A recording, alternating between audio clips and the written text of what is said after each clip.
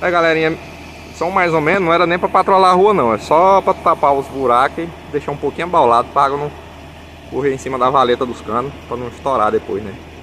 Então vai ficar assim. Agora eu vou mexer nessas outras ruas aí. Um abraço a todos, fique com Deus, valeu.